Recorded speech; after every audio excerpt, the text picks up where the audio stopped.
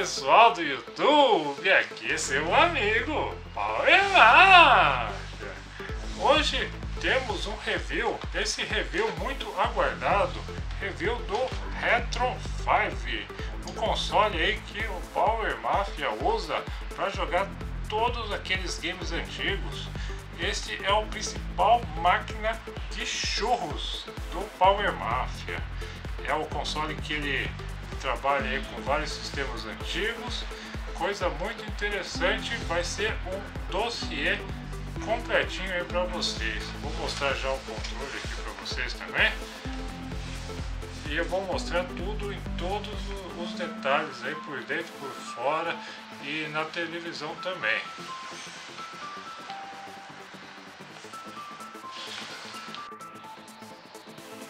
Estamos aqui no, no review do Retron 5 Retron 5, o aparelho da Hyper Skin. Vocês podem ver ele aqui Bonitão. Vamos dar uma olhada nele.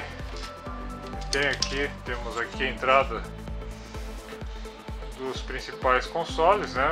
Mega Drive, Nintendo, Super Nintendo ambos os lados para dois players, né? Super Nintendo, Nintendo, Mega Drive. Entradas aqui, Famicom, que é Nintendinho, né? Nintendo americano, Super Nintendo, Mega Drive.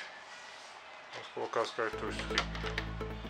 Só avisando, você não pode colocar dois cartuchos uma vez. Vou colocar aqui só para ilustrar. Então Mega Drive Super Nintendo.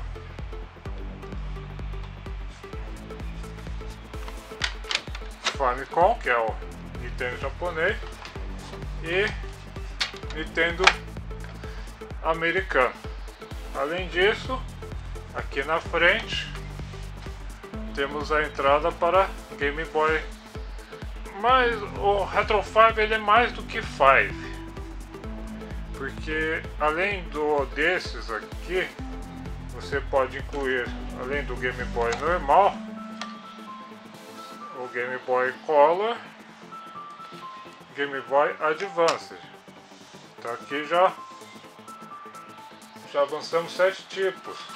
E também Master System. Você pode jogar Master System se você tiver um adaptador de Mega Drive.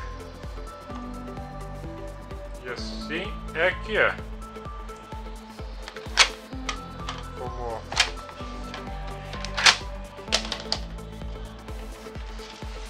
Aqui na parte de trás existe né, a entrada de, de força.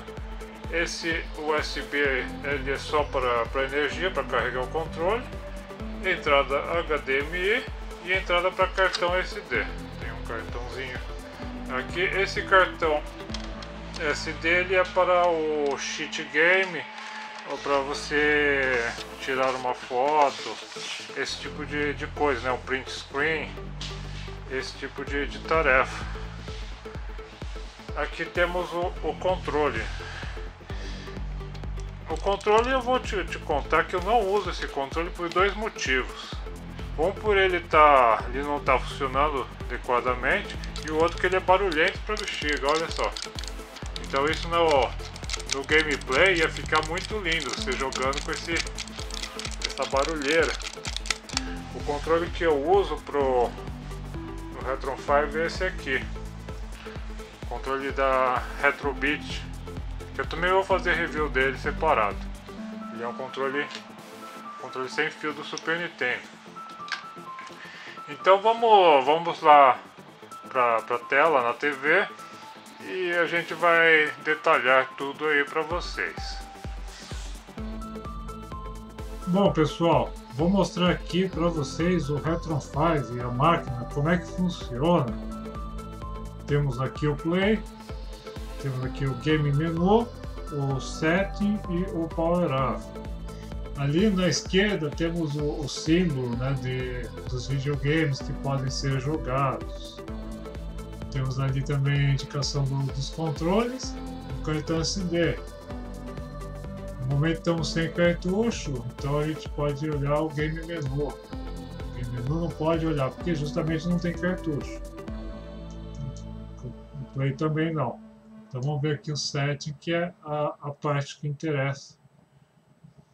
Aqui em vídeo, você pode mudar o, o filtro. Você pode mudar o filtro de, de imagem conforme a sua preferência. Eu gosto mais desse filtro Super 271. Tem esse Super Eagle, Sky de 2x. Cada um ele tem, ou sem filtro nenhum, a imagem fica pequena. Se você quer scanlines, deixar aquele aspecto na TV antiga, eu não prefiro não. Spectrum Radio, né? Eu gosto esticado mesmo. Overscan também ajuda bem a imagem do, na tela. Force original resolução. Sempre deixo não, por causa que senão fica, fica feia a imagem. Como é um aparelho que ele faz uma coisa mais moderna, então é melhor você fazer proveito da tecnologia. 60 Hz, você pode mudar também 50, 60 aqui. Imagem da tela. São vários filtros né, de imagem, você pode ir testando. Aqui áudio. Fade boost, bass boost, né? É, entrelaçamento de som, sempre deixo tudo on, que o volume está no máximo controles. Né? Aqui o primeiro é o controle específico do Retron 5.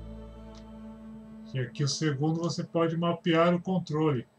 Aqui de acordo com o sistema que você está jogando, você pode atribuir o controle, tanto Game Boy, NES, Famicom, como eu estou usando sempre o do, Super Nintendo, então aqui fica tudo Super Nintendo.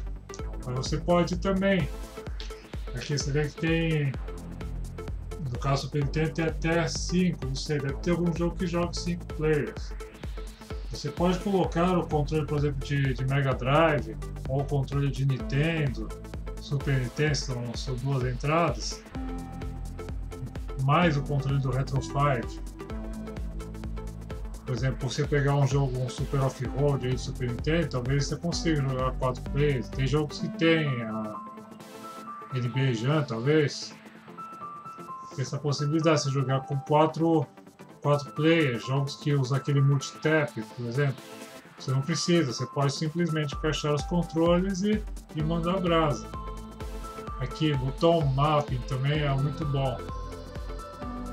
Uh, você pode mapear o controle, né, onde você quer cada botão. Não precisa entrar no, no jogo e mudar, que nem Street Fighter, o pessoal muda né, o botão de, de chute, soco forte, para deixar no, no X ou no A, por exemplo, ou no Y ou no B. Não precisa fazer isso, já pode fazer esse mapeamento. E você também pode, deixa eu ver aqui, em Profiles, você, você pode também dar atribuições aqui, como A turbo, B turbo, X, Y turbo. Você pode atribuir botão, a função turbo nos botões e também deixar que nem botão normal também. Você pode fazer um. De acordo com o jogo, você faz seu mapeamento. Aqui em sistema, né? Fast loading, cartucho, né? Para carregar mais rápido o cartucho, região automática, você pode deixar só o EC, aí vai dar, vai dar problema. Só Japão, só automático. Deixa fica já disponível para todos. Ou se você quiser, por exemplo, que o jogo fique em, em japonês, por exemplo, o State of Rage, deixa aqui em Japão, por exemplo. Deixa automático fica melhor. Aqui também do sistema, né? Começar o jogo quando o cartucho foi inserido. Aqui também é save, você pode fazer o save do, do jogo né, na estocagem externa pode tirar screenshot. Tem um atalho para screenshot.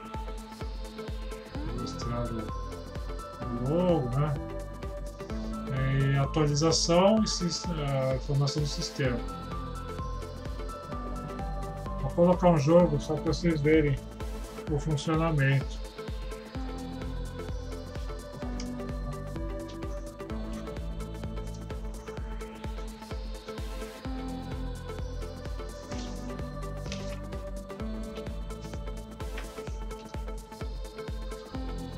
Ao inserir o jogo, ele já demonstra aí qual que é o jogo. Esse é o jogo Kabuki, tá? Ele está na versão japonesa dele.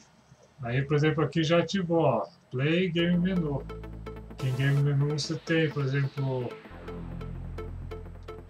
esse, esse patch aqui, por exemplo, você, jogos de RPG que forem traduzir, você pode aplicar o, o patch.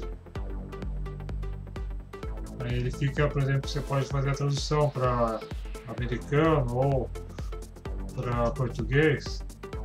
Aqui, cheats. Dependendo do jogo, ele tem cheats. A maioria dos jogos famosos, por exemplo, Mario, talvez F0, ele tem direito a cheats. As cheats elas estão gravadas no cartão SD. Você baixa do site do, do Retron 5. Uh, jogos que tem save, para você pegar um jogo, um Zelda, um jogo que tem save, ou mesmo o Mario, você pode copiar o jogo, o save do jogo, para o Retron 5.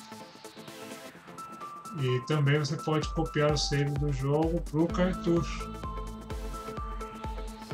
Como um backup, você fica preocupado com a bateria, você que está preocupado com a bateria do, do Mario, fez os cabeção lá, tudo, vai perder tudo, não você copia o seu save para o Retron 5 e ele vai ficar gravado no SD. Muito bom. Trocou a bateria, quer voltar o save para o cartucho? Mesma coisa, ele volta o save para o cartucho. E aqui o play inicia o, o jogo. Está aqui no, no filtro dele, né? Você vê que fica esticado a tela. Deixa eu mudar aqui, por exemplo, o, esse menu, você, com o Start para baixo, você ativa ele no controle Super Nintendo. Então você tem aqui retornar ao jogo, Save State, você pode escolher até 9 slots de save. Aqui Save State, você salva onde você quer. E sempre vai dar essa, essa mensagem, né? Save, save State número 0, por exemplo. Aí load state, né? Mesma coisa. O filtro que eu estava falando para você de vídeo, eu vou colocar em filtro sem, sem filtro nenhum.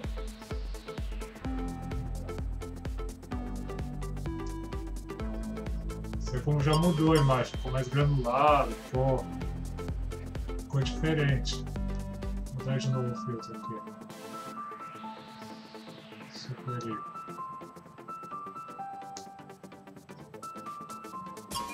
Aí é questão de você, de gosto, você ir testando o filtro, colocar scanlines.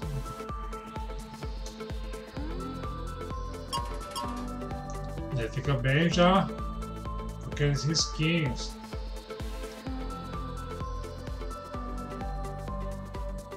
Você pode também tirar uma screenshot, ela fica gravado no cartão, mas eu não gosto muito, viu? Falar a verdade, as screenshots do RetroPag elas não são muito boas. Para controlar o volume, é um menu resumido aqui. Pode dar reset no jogo também. Não precisa se levantar para dar reset. Você pode ir para o menu principal.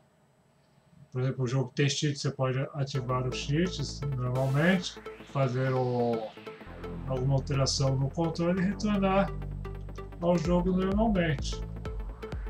E aqui